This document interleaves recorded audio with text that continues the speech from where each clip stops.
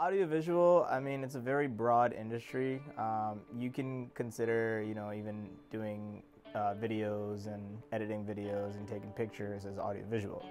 Uh, in our world, in Sacred Heart world, uh, audiovisual is uh, classroom technology. Uh, basically, any sort of technology that helps enhance the learning experience. We cover about 300 plus, almost, actually probably almost 400 uh, spaces for uh, with classrooms and event spaces.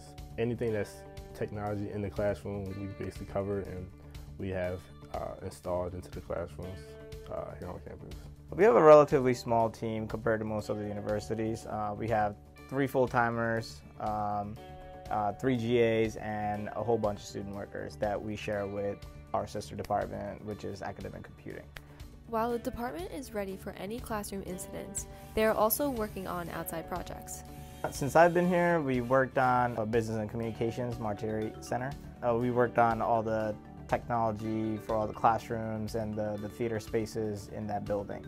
Uh, so we were involved in the design process all the way to the end process as well as now we support the building uh, as far as the classrooms go, the event spaces go, um, and all the other little areas like conferencing spaces and group rooms. I have one that I recently com uh, completed at the Pitt Center where we had to install five televisions uh, and connect them through uh, Cat5 to HDMI to the rack, which is going to produce uh, Apple TV for the workouts in the morning and whatnot. Upcoming projects that we're having, uh, summertime we're going to get a lot of our work done because it's when it's not as much traffic here on campus with the students.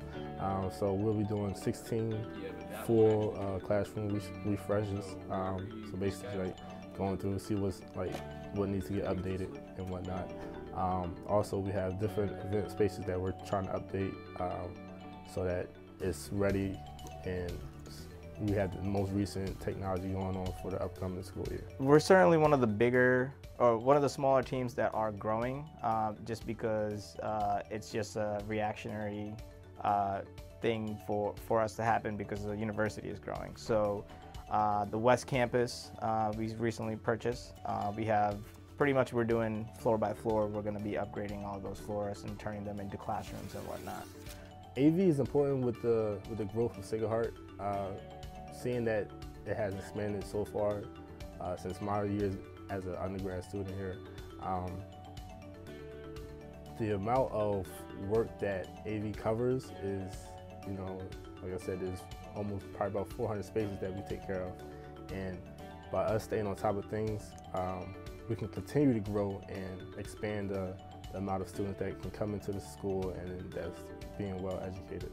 We provide a very unique service to the university um, and part of our job is to keep the university uh, up to date as far as technology goes so that uh, we're, you know, so that we're kind of in the leading edge of technology in terms of our competitive schools. Reporting from Fairfield, Connecticut, this is Kristen Moore for the Pulse Plus.